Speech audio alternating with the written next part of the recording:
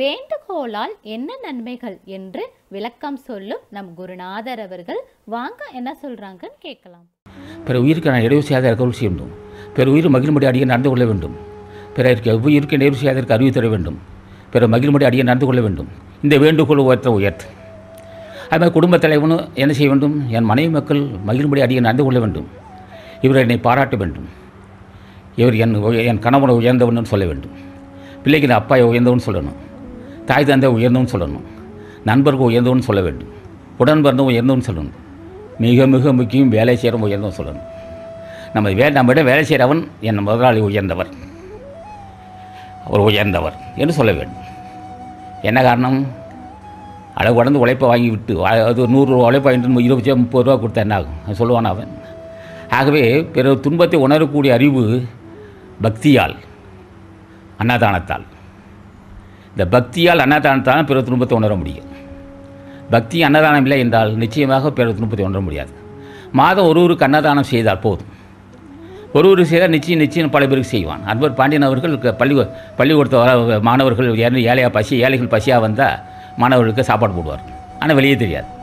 அப்படியே ரகசியமாக கூப்பிடுவார். ஏப்பா அப்படியே இருக்கனார் இந்த அது போய் இந்த கடையில் நான் சீட்டு கொடுக்குறேன் நீ போய் சாப்பிடுன்னு சொல்லிவிடுவார் அவர் தினம் ஒரு பத்து பன்னிரெண்டு ஏழை மாணவருக்கு சாப்பாடு கொடுத்துட்டு வர்றார். அன்பர் ரங்கநாதன் ஐநூறு பேர் செய்கிறார். அன்பு விருதுநகர் செல்வ செல்வகுமார் அவரு தான் இருபது பதினஞ்சு இருபது பேர் நான் செய்கிறார். இப்போ தமிழகம் பூராவும் அன்னதானம் செய்துக்கிட்டு வந்துடுறாங்க. அன்னதானம் செய்கிற இடத்து அன்னதானம் செய்யக்கூடிய இதயத்தில் தயவு செஞ்சு இருக்க தான் செய்யும். அன்னதானம் செய்கிற மக்களுக்கு அன்னதானம் செய்யக்கூடிய எண்ணம் இருந்தால் புலால் உண்ண மாட்டார்கள். அன்னதானம் செய்யக்கூடிய எண்ணம் இருந்தால் குலை தெய்வத்துக்கு சக்கரை பொங்கல் வெண்பொங்கல் பூஜை செய்வர்கள் ஆடுகோழி வெட்ட மாட்டார்கள்.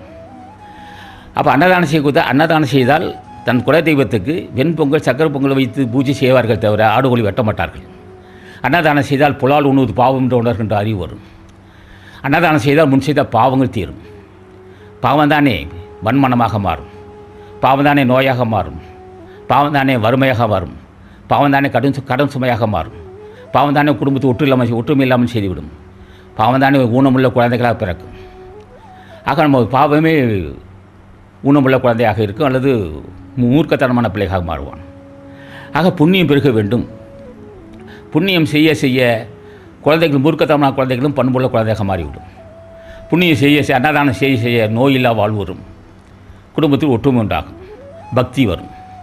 இப்போ பிற உயிர்கள் மகிழும்படி செய்தால் கடவுள் மகிழ்ச்சி அடைகிறான். இப்போ பிற உயிர்கள் அத்தனை பேரும் கடவுளின் கடவுள் அவதாரமாக இருக்குது எல்லாமே எல்லாமே எல்லா உயிர்களும் சிவத்தின் கூறு தான் அது மனைவாக இருக்கலாம் தாயாக இருக்கலாம் தந்தையாக இருக்கலாம் உடன் பிறந்தவராக இருக்கலாம் பிள்ளைகளாக இருக்கலாம் நண்பனாக இருக்கலாம் வேலை செய்கிறவராக இருக்கலாம். எல்லாம் சிவ இது சிவத்தின் சிவத்தின் கூறு தான் அப்போ உயிர்கள் மகிழ்ச்சி அடைந்தால் சிவன் மகிழ்ச்சி அடைகிறான். உயிர்கள் மகிழ்ச்சி அடையவிட்டால் ஆசானது அருளுரைகளை தொடர்ந்து கேட்க அரங்கர் டிவிக்கு லைக் பண்ணுங்க சப்ஸ்கிரைப் பண்ணுங்க. மறக்காம பெல் பட்டனையும் கிளிக் பண்ணுங்க.